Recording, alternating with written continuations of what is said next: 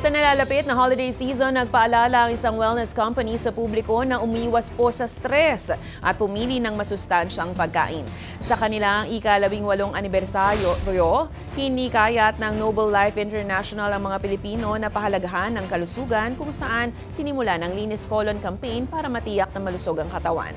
Ayon po sa National Library of Medicine, colorectal cancer ang ikatlong pinakakaraniwang cancer sa Pilipinas. Layunin ng kampanya na maiwasan ng sakit sa pamamagitan ng tamang pangangalaga sa katawan.